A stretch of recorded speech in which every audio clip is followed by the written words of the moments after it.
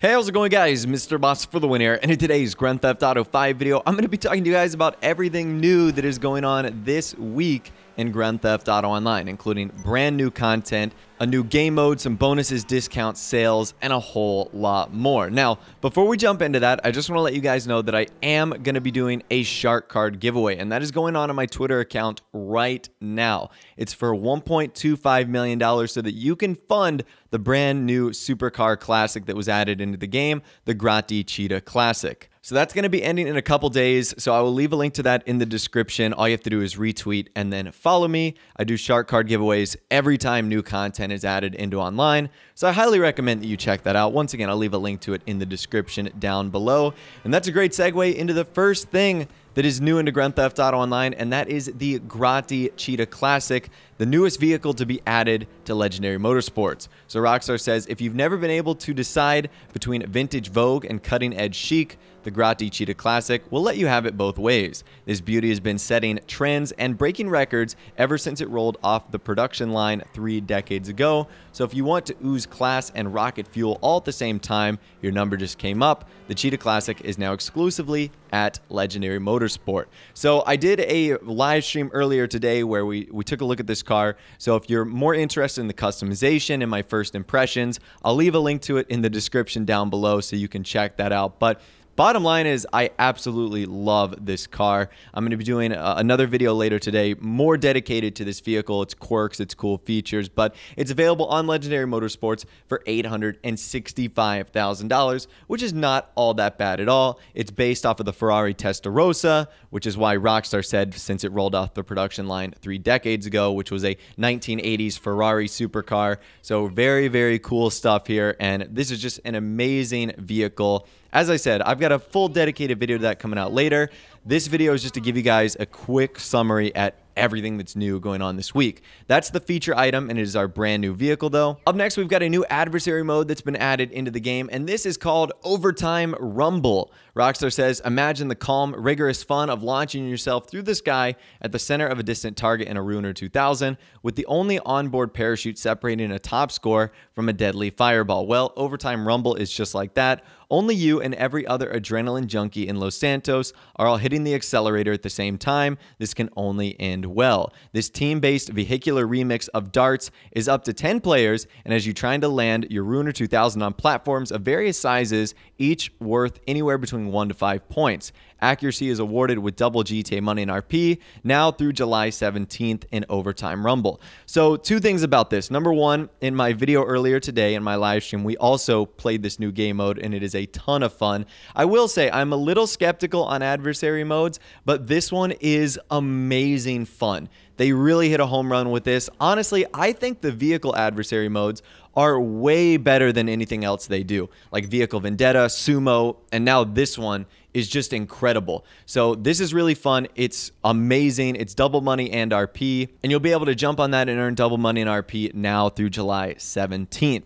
After that, there's some discounts going on in GTA Online, primarily executive office discounts. Rockstar states for those with the entrepreneurial spirit burning deep inside them, we have a bevy of discounts on executive offices designed to help make starting your empire a little bit easier. So these are the various discounts. You're getting a different amount depending on which office you want. Maze Bank West is getting a 25% discount. The Arcadius Business Center is getting a 30% discount. Lombank West is getting a 35% discount. And Maze Bank Tower is getting a 40% discount. So it seems that the cheapest office gets the lowest discount, and the most expensive one, the Maze Bank Tower, gets the most expensive, or, or the best discount, I should say, at 40% off.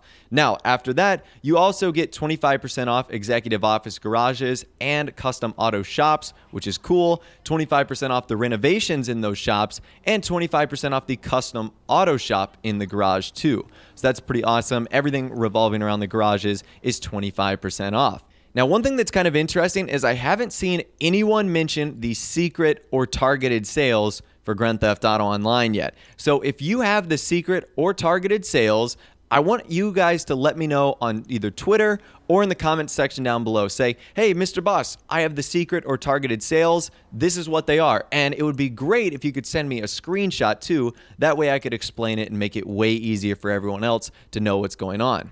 But right now, the discounts that are available for everyone all have to do with the executive office stuff. So that's going to be pretty awesome. And then the last thing we need to touch on is a new premium race and time trial that will be lasting from July 11th through July 17th.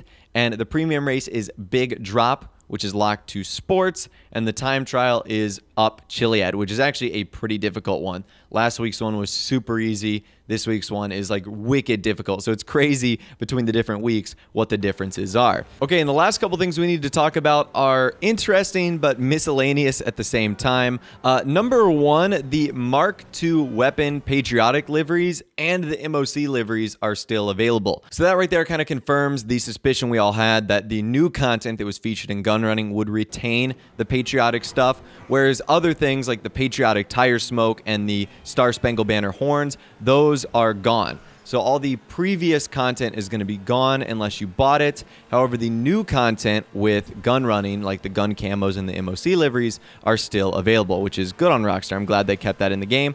And last but not least, the props that are actually used in the new adversary mode can be found in the director mode and in creator. So I'm not sure why this is the case. Maybe you guys can come up with some pretty cool jobs or races that feature these props. I'm really not too sure, but regardless, I think that's pretty awesome.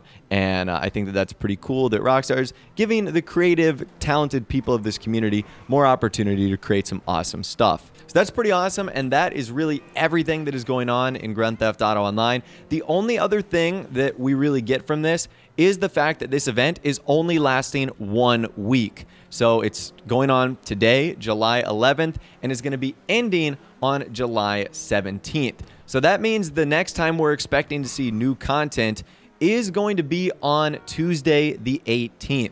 Now, what that new content is, I'm not sure. It might be another adversary mode, it might be another vehicle, it might be another set of t shirts. We're really not too sure.